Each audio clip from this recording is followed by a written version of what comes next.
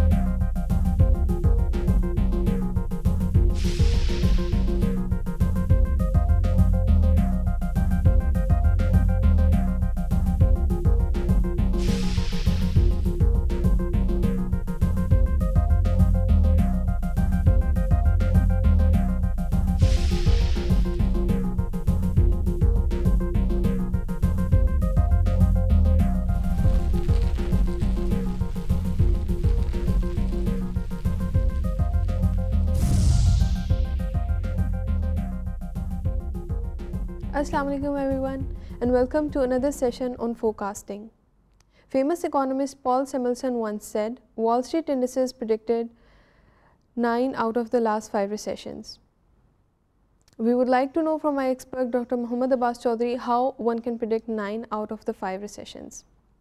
Another uh, economist Edgar Fiedler once said that uh, if you ask a question from 5 economists you will get 5 different answers. 6 if one of them went to Harvard. Still he says if you have to forecast, forecast often. Uh, in the last session we discussed quantitative methods of forecasting, time series forecasting in which we discussed decomposition of a time series, naive approach, moving averages, exponential smoothing, exponential smoothing with trend adjustment.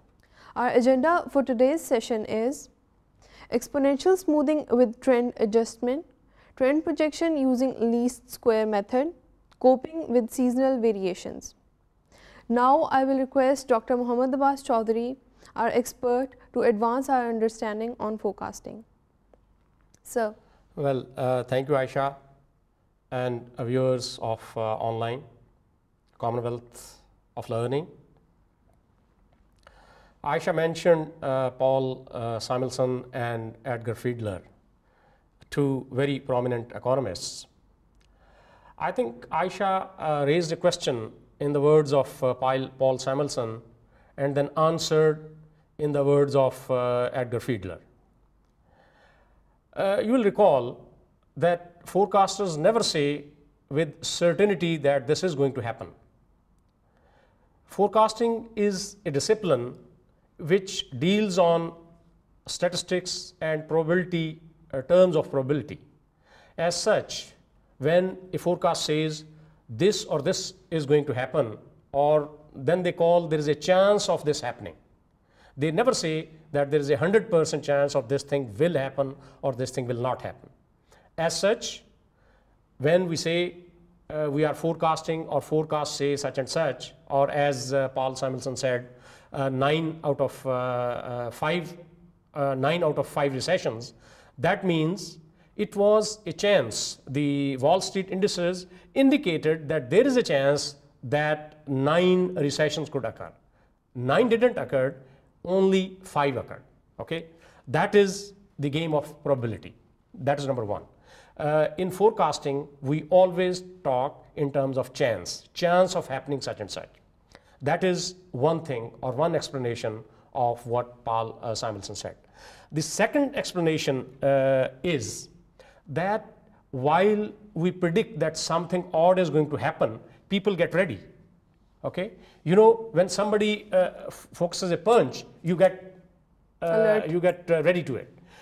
When somebody Wall Street indices predicted that there is a chance of a recession happening, it means all the forces all the economic forces, they get readied. And in doing so, they averted the recession. Means otherwise, that could have happened. Recession could have happened, but it didn't because all the, uh, the all the economic forces, they uh, get readied to avert that or to confront that. As such, the recession didn't happen. Two things. One, forecasting is always in, in terms of chance probability of happening such and such or not happening such and such. Two, once uh, something is predicted, the forces get ready to that to avert that happening if it is uh, adverse. Uh, and that is why uh, the Edgar Fiedler said, if you have to forecast, forecast often. Similarly, uh, I think forecast is a useful survival tactics in bad times. Uh, the master of wit, Oscar Wilde once said, to expect the un unexpected shows a thoroughly modern intellect. It means when there is something you expect something is going to happen, then you prepare for that. And forecasting is actually a discipline that prepares us for uh, really if something, uh, what is going to happen, and we should be prepared accordingly. Now, coming back to our quantitative forecasting methods, we were discussing uh, last time, Aisha, you men uh, mentioned exponential smoothing. We have covered exponential smoothing using various val values of alpha and so on. We'll continue uh, two other very important issues as far as exponential smoothing is concerned. One is uh, the trend. In how do we capture if there is a trend in certain uh, sort of uh, uh, data, and how the seasons are to be taken care. Because we know uh, demand or production or something, it it has to do with something. Uh, in summer, uh, uh, let's say certain commodities are in demand. In winter, there are some others how the seasons effect on our forecast. We'll be discussing that. The exponential smoothing as far as trend is concerned, when the trend is present, exponential smoothing should be modified. And how that is modified? This equation tells us forecast including the trend is equal exponentially smooth forecast plus exponentially smooth trend. Okay, L let's see how it happens. Uh, this is uh, actually uh, in, in mathematical form the equation which we discussed and it takes three steps to calculate the, the forecast using exponential smoothing and adding, the, adding a trend into it. Step one is we compute FT. We compute the forecast, then we compute trend, and then we calculate the forecast by adding trend to the forecast. Now, uh, uh, let, us see an example of how exponential smoothing is adjusted using uh, the trend, how trend is added to the exponential smoothing. This data indicates for uh, 10 months uh, actual demand AT and how the seasons is uh, added into it. in this case, we see a smooth forecast is 11, smooth trend is 2, our forecast including trend is 13. This is how we have done it.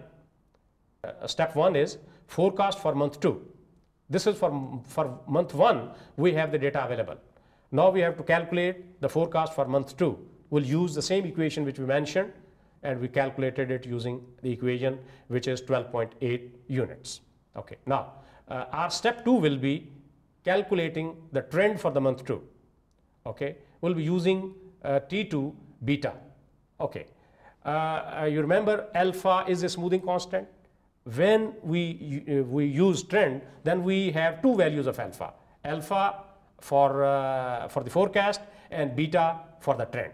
That's why we are using, this is actually another value of alpha, basically. Right. This is beta. Then we calculate the trend using the same equation. We have 1.92 units is our, our trend.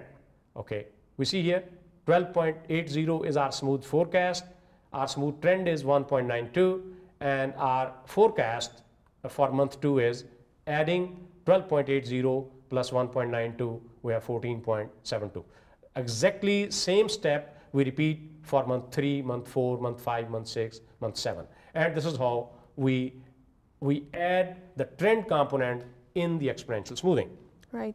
Sir it seems that in exponential smoothing we are trying to smooth out the actual demand. Can't we draw the trend line and then and that will give us relatively a better forecast? I think uh, that is trend adjustment. Uh, we, we can also make a forecast using the trend. First of all, let's say, uh, let's, let's look at the diagram, which is exponential smoothing with the trend adjustment, which we calculated just a few moments ago. This was the actual forecast, and this is the forecast including the trend. We see this is relatively closer than the forecast we have been making with the previous uh, uh, methods. Now you mentioned that can we predict using only the trend line? Yes, we can do it. And we, we actually start uh, uh, doing that. And then we try to make some adjustment. Uh, let's see how we can do that. In trend, we try to fit the trend line to the historical data. That is actually what we do. And uh, project it into the future for medium to the, uh, we, we fit the historical data to a trend line and then project it into the future. That is what we do. And we do it uh, using the linear trend can be found using the least square technique.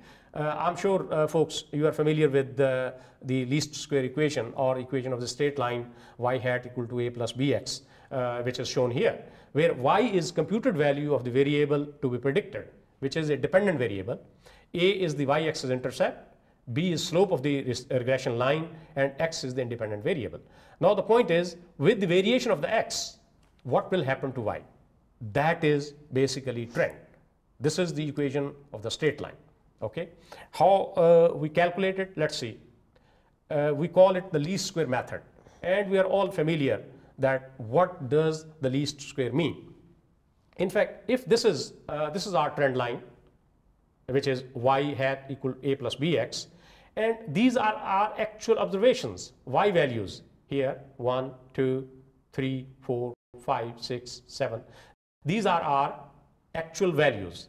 What actually fitting the trend line we're trying to do is, we're trying to, uh, uh, to decrease these values. We're trying to fit the line as best as possible uh, uh, uh, keeping these data points in line. And least square method minimizes the sum of the squared error. Sum of the squared error, least square method helps us minimize that. It means this line will be the best approximation of the trend, right? Uh, let's see. Uh, let's let's now calculate uh, the, that equation. our equation is y hat equal a plus bx, where b is the slope of the line and calculated with this formula. a will be only rearranging this equation, a is equal to y bar minus bx. Uh, now let's uh, uh, try to calculate uh, with the help of an example. This example tells us uh, from year 2001 to year 2007, our time periods are 1, 2, 3, 4, 5, 6, 7, and then uh, our electrical power demand. okay, folks, uh, all the examples which we are discussing, uh, Aisha and uh, uh, uh, viewers, we use from the textbook which we recommended. Uh, for the purpose, because of the time constraint, we only go directly to the, to the solution. For details, you must refer to the textbook, Heizer and other books for the solved examples. Okay, this electrical power is, demand example is given in the Heizer book in year 2001, 2, 3, 4, 5, 6. This is the demand. And then we sum up x and calculate x bar, which is 4 here, uh, because we have 7 uh, time periods. Here we sum up y values, 692, and we calculate y bar. And here we sum up x squared. You know this x, it is squared in this line, and this is x multiplied by y values here. Here we sum up x squared 140 and here we sum up uh, xy's which is 3063. Now, first of all we calculate the slope of the line using the formula which we mentioned earlier it is 10.54 and then we calculate a which is the intercept of uh, y uh, which is 56.70. Now we make up, we calculate the equation of the trend line is y hat equal 56.70 plus 10.54x. Now, this is our value, this is our uh, equation of the trend line. Now, we'll be, will be uh, actually with the change in the values of the x, our values of y will be coming up. Uh, let's see how it happens.